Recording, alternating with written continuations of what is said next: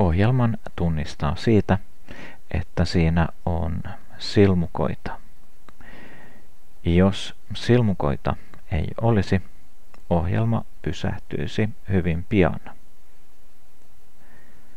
Silmukoita voi löytyä montakin kappaletta. Niitä voi olla lukuisia. Ne voivat olla peräkkäisiä, sisäkkäisiä tai näiden yhdistelmiä. Näitä silmukoita lasketaan ja kontrolloidaan muuttujilla. Yleensä käytetään näissä Arduino-ohjelmoinneissa muuttujaa N. Tätä muuttujaa voimme käyttää toisenlaisessa muuttujassa, arrayssa.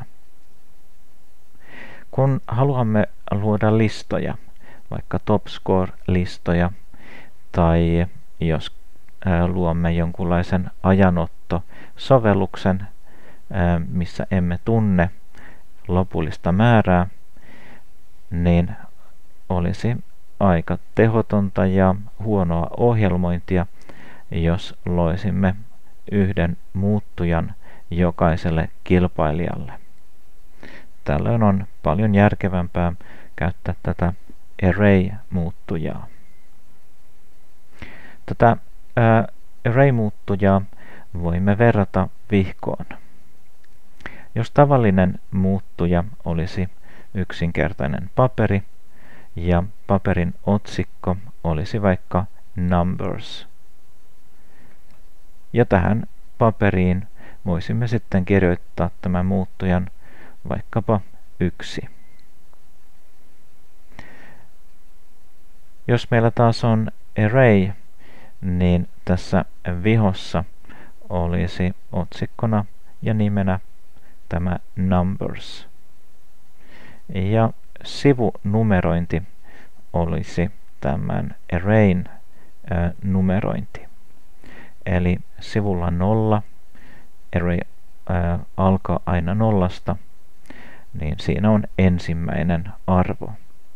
Ja sivulla yksi on toinen arvo ja sivulla kaksi kolmas ja niin eteenpäin. Tätä käytetään seuraavalla tavalla. Ensin määrittelemme, minkä tyyppinen muuttuja on.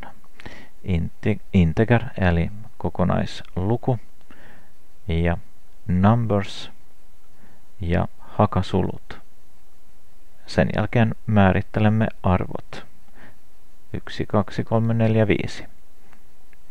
Voimme hakasulkuihin myös määritellä valmiiksi, kuinka monta arvoa haluamme käyttää, ja silloin meidän ei tarvitse vielä ää, antaa näitä arvoja.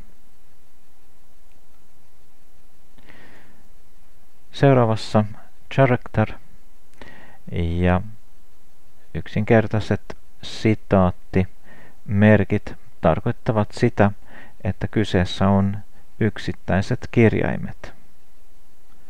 Verrattuna tähän toiseen esimerkkiin, tässä taas on tavalliset ää, sitaattimerkit ja tässä tarkoitamme sitten kokonaisia sanoja. Kun tähän lisätään nolla, niin muuttuja antaa arvoksi a. Jos tähän laitetaan arvo 1, niin saamme tässä arvoksi numero 2. Jos tähän ää, lisäämme kolmosen, ää, saamme arvoksi k. Ja jos tähän ää, lisäämme taas nollan, saammekin kokonaisen sanan, koska tämän char-määritelmän perään lisäämme tähden. Ja tätä tullaan varmasti käyttämään eniten. Jos haluamme siis tuloslistan ja kokonaisia nimiä, meidän tulee käyttää tätä.